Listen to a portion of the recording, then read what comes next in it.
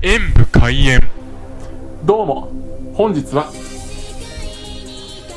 ちらカゴメの野菜生活100ベリーサラダを飲みたいと思います。ベリーサラダ。ポリフェノールってことは多分紫色の飲料なんでしょうね。パックなので中身を見せることは残念ながらできませんが。ではストローを刺して飲んでみたいと思います。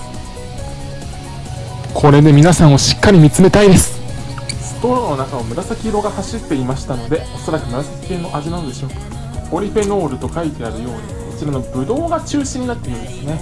味もブドウのあの酸味がちょっとある甘さでとってもすっきりして飲みやすかったです。ただもう一押し何か欲しかった気もしますのでこちらの点数とさせていただきました。では。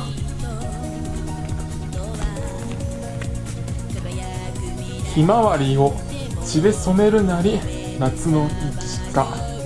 なんか怖いですね。ご視聴ありがとうございました。コメントしていただけると嬉しいです。演武閉園。パソコンおよびスマートフォンのアプリの方はクリックをお願いします。